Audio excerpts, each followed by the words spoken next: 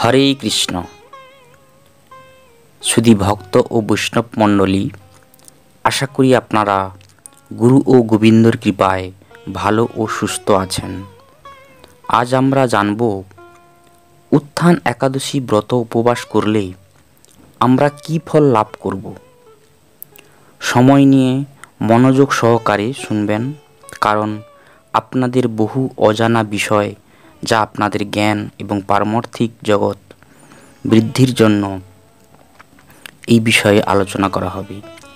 ভিডিওটি প্রথম থেকে শেষ পর্যন্ত দেখবেন।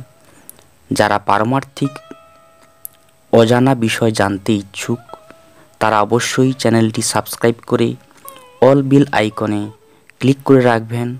কারণ যখন নিত্য নতুন ভিডিও আপনাদের উদ্দেশ্যে আপলোড করব সেই ভিডিওটির নোটিফিকেশান সর্বপ্রথম আপনার মোবাইলে পৌঁছে যাবে। তাহলে আসুন, আমরা জেনে নিই। স্কন্দপুরাণে বলা হয়েছে, যারা এই ব্রত পালন করে, ভগবান তাদের সমস্ত পাপ দূর করে, পুণ্য বৃদ্ধি করে দেয় এবং মুক্তি দান করে। যতদিন পাপনাশিনী কার্তিকী উত্থান একাদশী উপস্থিত না হয়, ততদিন ভাগীরথী এই পৃথিবীতে গর্জন করতে থাকে এবং যতদিন উত্থান একাদশী উপস্থিত না হয়, ততদিন আসমুদ্র সরোবর নিখিল তীর্থ গর্জন করতে থাকে। একটিমাত্র উত্থান একাদশী উপবাস করলে সহস্র বাজপেয়ী ও শত অশ্বমেধ যজ্ঞ পুণ্যফল লাভ হয়।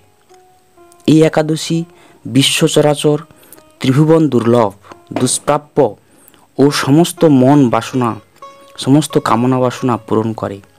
উত্থান একাদশী উপবাস করলে ঐশ্বর্য, সন্তান, অর্চনা, রাজ্য, সুখ, সম্পদ সমস্তই প্রাপ্ত হওয়া যায়। একটিমাত্র উত্থান একাদশী উপবাস করলেই মেরুমন্দর পর্বতের সমান পাপ ভস্মীভূত হয়ে যায়। এই ব্রত উপবাস করলে পৃথিবীতে যাবতীয় দানের ফল লাভ হয়।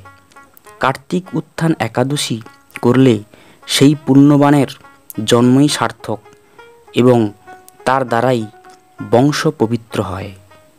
কার্তিকী উত্থান একাদশী ব্রত করলে ত্রিভুবনস্থ নিখিল তীর্থ সেই ব্রত পালনকারীর বাড়িতে উপস্থিত হয়। কার্তিক মাসে সমস্ত কর্ম ত্যাগ করে শ্রী হরির প্রীতির জন্য এই উপবাস করা একান্ত প্রয়োজন। যিনি একবার মাত্র কার্তিকী এই ব্রত উপবাস করেছেন, পরলোকের জন্য কোনো কিছু ক্রিয়াকর্ম করার কি প্রয়োজন? যিনি এই ব্রত উপবাস করেন, তিনি জ্ঞানী, যোগী, তপস্বী ও জিতেন্দ্রীয় বলে গণ্য হয় এবং সেই ব্যক্তিরই স্বর্গ মোক্ষ লাভ করে। একবার মাত্র এই ব্রত উপবাস করলে মুক্তি লাভ করা যায়। এবং এই ব্রত উপবাস করলে তার জননী জঠরে পুনরায় তাকে প্রবেশ করতে হয় না। সমস্ত ধর্ম বিসর্জন দিয়ে এই তিথিতে উপবাস করা একান্ত প্রয়োজন। যে ব্যক্তি হরির উদ্দেশ্যে এই উত্থান একাদশী ব্রতের দিন স্নান, দান, জপ বা হোম যা কিছু অনুষ্ঠান করে, তা হয় অক্ষয়। এই ব্রত উপবাস করা কর্তব্য, কারণ এটি মহাব্রত স্বরূপ এবং এই ব্রতের দ্বারা সমস্ত পাপ দূরীভূত হয়। এই ব্রত অনুষ্ঠান দ্বারা হরিকে সন্তুষ্ট করলে তেজর দ্বারা দশ দিক চারিদিকে আলোকিত হয়ে ভাগ্যবানের, সেই ভাগ্যবান ভগবানের ধামে গমন করবে, ফিরে যাবে। পদ্মপুরাণে লিখিত আছে যে, যেদিন ভগবান ক্ষীরসাগরে শয়ন হন এবং যেদিন জাগরিত হন একাগ্র চিত্তে সেই দিন উপবাস করলে গৌরাঙ্ক সাই কৃষ্ণ তাদের সমস্ত বাসনা পূরণ করেন।